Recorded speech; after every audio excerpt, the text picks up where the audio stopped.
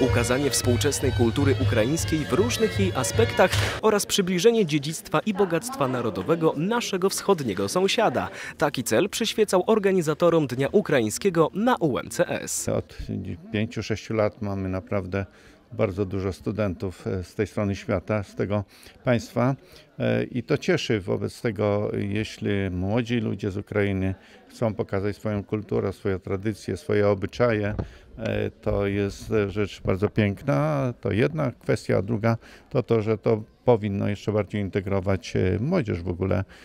Tą wielokulturowość Lublina obejrzeliśmy przed chwilą na bardzo ciekawym filmie, ale ta wielokulturowość musi się przekładać na wzajemne stosunki między młodymi ludźmi. Tak to postrzegam i dlatego cieszę się, że mamy tak dużo studentów z wielu krajów, ale zwłaszcza z Ukrainy. Pomysłodawcy chcieli pomóc w integracji mieszkańców Lublina i studentów z przedstawicielami społeczności ukraińskiej w naszym mieście oraz promować dialog polsko-ukraiński.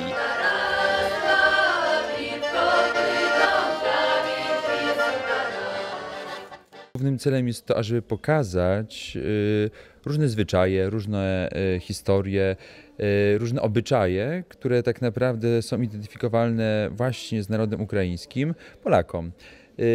Także pokazywać, odkrywać też tą społeczność, ten naród, jakim jest naród ukraiński. Według ostatniego raportu Fundacji Edukacyjnej Perspektywy poświęconego studentom zagranicznym w Polsce, UMCS jest na pierwszym miejscu w kraju w kategorii umiędzynarodowienie uniwersytetów. Zajmujemy również pierwsze miejsce wśród uczelni publicznych w kształceniu studentów z Ukrainy. Wśród społeczności studentów UMCS-u coraz bardziej wzrasta liczba osób z wschodniej granicy, z Ukrainy, z Białorusi i dlatego też chcielibyśmy sprzyjać integracji tych studentów nie tylko w tą jedną stronę, gdzie my pokazujemy swoją kulturę, gdzie oni mm, jakby bardziej wchodzą w tą tkankę polską i przejmują, przejmują, e, zapoznają się z naszymi zwyczajami, z naszymi tradycjami, ale też chcielibyśmy, by to działało w dwie strony.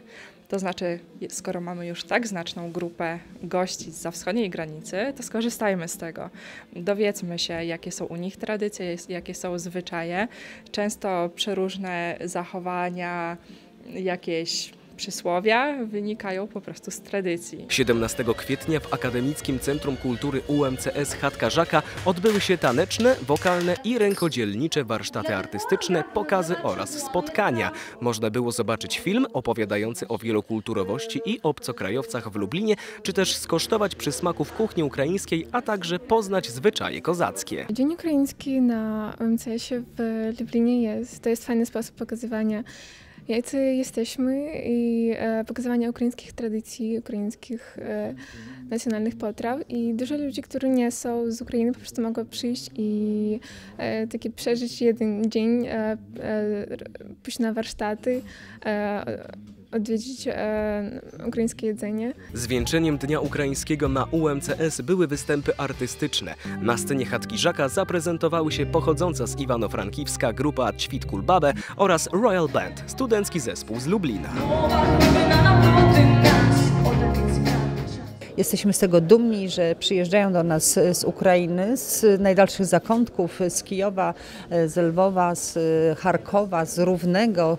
Także y, myślę, że zainteresowanie studentów z Ukrainy jest olbrzymie. Natomiast my również staramy się, żeby ta integracja środowiska polskiego, ukraińskiego była jak na najwyższym poziomie, bo nie tylko kształcenie, ale również wspólne spotkania, to dzisiaj dowodem jest Dzień Ukraiński, kiedy możemy e, zasmakować potraw e, ukraińskich, gdzie możemy poznać ich kulturę. Za chwilę obejrzymy film, e, który będzie promował e, tradycję i kulturę ukraińską. Telewizja akademicka UMCS objęła Dzień Ukraiński patronatem medialnym.